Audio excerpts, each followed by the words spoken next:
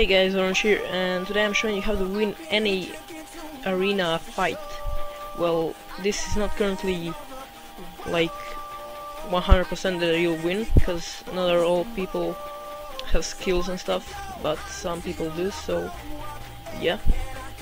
So basically, what you need for this, I guess, easy win mode or whatever, you need the home turf DLC and the mods that you can get from here. Yeah, not here.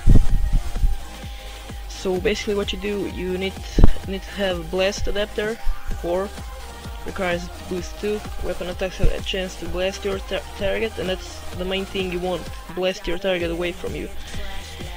And the back mod, using your break ability causes enemies to be violently knocked down and away from you, that's right and where's the next one? An explosive block requires boost 1, your block counters knocks enemies much further away and increases their health duration by up to 1 second. And yeah, that's pretty much it. You have to have and to get these um, this stuff working and stuff you need to spend quite a lot of money and marks.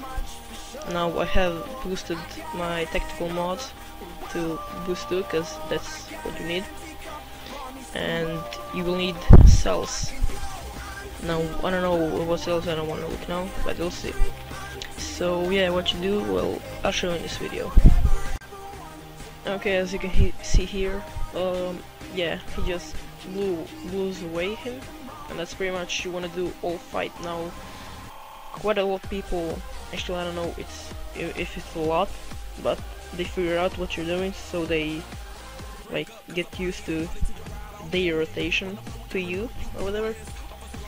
But yeah that's pretty much all you do and I win a couple of matches with that technique I guess.